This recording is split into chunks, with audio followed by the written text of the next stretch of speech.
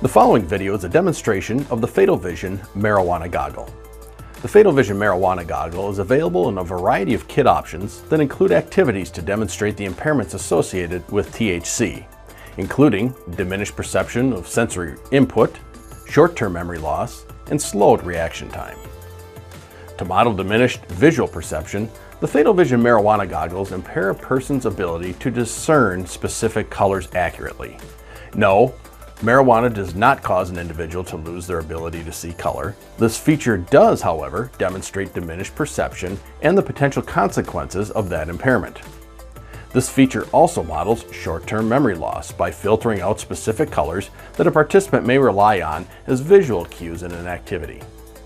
This results in the participant's unexpected overload on their short-term memory, making the activity more challenging to complete.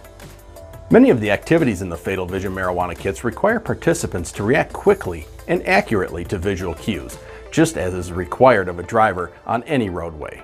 These activities demonstrate the potential for delayed and dangerous responses to a variety of driving situations. Be sure to view our specific activity demonstration videos for the Fatal Vision marijuana goggles. For more information, visit our website at fatalvision.com or call us at 1 800 272 5023.